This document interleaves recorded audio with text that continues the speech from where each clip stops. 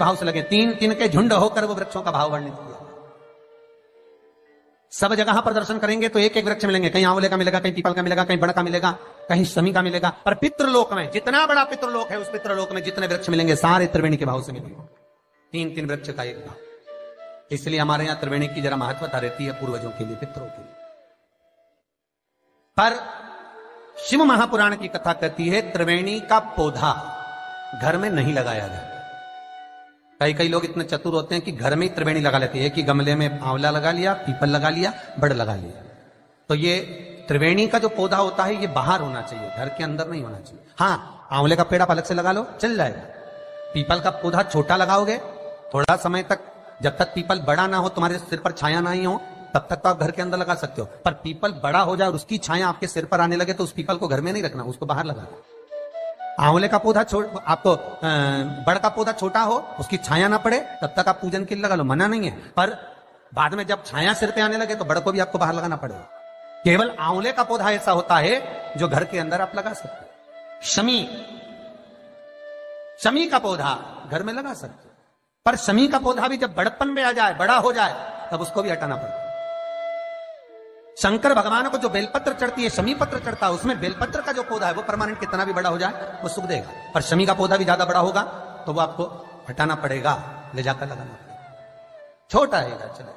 पर निवेदन है कि बड़ पीपल और आंवले की त्रिवेणी आप गमले के अंदर ना बनो। आप गमले के अंदर, कई माताओं की आदत है त्रिवेणी कहाँ पूजने जाएँगे। त्रिवेणी पे कहाँ दिया लगाने जाएँगे तो गमले में त्रिवेणी बना लो, बड़ा का पौधा भी लगा लो, उसी के अंदर, उसी में आंवले का, उसी में पीपल। वो शिव महापुराण वर्णन नहीं करती, त्रिवेणी घर में त्रिवेणी बाहर। त्रिवेणी का पौधा बाहर हो। घर के अंदर क्यों? शिव महापुराण की कथा में स्पष्ट कहा गया, जहाँ त्रिवेणी का पौधा गमले के अंदर होता है, वहाँ, उस स्थान पर महाराज कहीं ना कहीं क्लेश का भाव होता है। उस घर में शांति नहीं होती। ओम नमः शिवाय, हर हर महादेव। जय हो प्रभु। उसका भी व्याख्यान गरुण पुराण में कहा गया। क्या वर्णन किया गरुण पुराण में?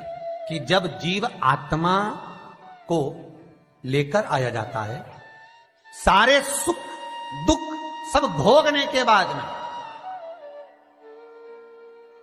कुछ समय के लिए उसको पितृलोक में जब लाया जाता है, तब पितृलोक में आने का जो प्रवेश द्वार है, उस द्वार में जब वो जीवात्मा सारे दुख भोग कर, तकलीफ़ भोग कर, वो जीवात्मा जब प्रवेश करती है तो उसको लगता है कि यहाँ पर फिर मुझे कहीं तकलीफ़ का अनुभव होगा तो वो अंदर प्रवेश नहीं करती है। त्रिवेणी का जो पौधा होता है, उसी पौधे के नीचे वो जीवात्मा कुछ देर विश्राम कर लेती है। इसलिए शिव महापुराण कहती है, त्रिवेणी बाहर पूजी जाए, त्रिवेणी बाहर लगाए। पर त्रिवेणी का पौधा घर के अंदर गमले में रहेगा। जीवात्माओं को जैसे दुख का भान होता है तो विश्रांति लेते हैं तो आहूत पितर वासुक जो प्रेत योनि में भटकने वाले भी जीव होते हैं, वो त्रिवेणी के नीचे कुछ समय के लिए विश्राम लेते हैं। विश्राम महाराज। विश्राम तो शिव महापुराण में और गणेश पुराण के अंदर एक बहुत सुंदर प्रसंग, गणेश पुराण में जैसे दुर्गा का प्रसंग कहा गया है, कल उस प्रसंग को थोड़ा वर्णन करेंगे गणेश पुराण के, कि कौन सी दुर्गा किस चीज़ के लिए लाभदायक है। तो गणेश पुराण में शमी के जो पत्ते का वर्णन करा गया तो उसमें स्पष्ट कहा गणेश पुराण में कि यदि एक लोटा पानी, एक कलश, जल, उसमें चंदन घोलकर अक्षत के पाँच दाने और पीपल के दो पत्ते उसमें डालकर समी के पेड़ के ऊपर उस जल को समर्पित कर कर आप अपनी कामना बोलकर जिस कार्य के लिए जाते हैं, वो कार्य मात्र तीन दिन में सफल हो जाता है। मात्र तीन दिन लगभग गणेशपुरा। शमी पत्र का शमी का जो पौधा। आपको कहा था, बेलपत्री माता पार्वती के नैना शुरू से प्रकट हुई। रुद्राक्ष का पौधा, शंकर भगवान के नैना शुरू से प्रकट प्रकट हुआ। और शमी का जो पौधा है वो उमा और महेश। माता पार्वती का जो एक अवतार हुआ था, उमा अवतार। तो माता पार्वती तो बावन अवतार माता पार्वती के हुए उसमें एक अवतार माता पार्वती का उमा अवतार है। तो उमा अवतार जब माता पार्वती का हुआ था तो उसके साथ में शंकर भगवान को महेश्वर अवतार लेना पड़ा। महेश्वर अवतार भगवान शंकर ने लिया। तो उमा और महेश्वर का जब मिलन हुआ था, उस मिलन के दृष्टिकोण से, उस मिलन की दृष्टि से शमी का पौधा उत्पन्न शंकर भगवान की जो जलाधारी है, बस उस जलाधारी का मुख उत्तर का होना चाहिए। घर में भी अगर शंकर भगवान का शिवलिंग रखते हैं अपन तो शंकर जी की जो जलाधारी का मुख होता है, वो उत्तर का होना चाहिए। उत्तर।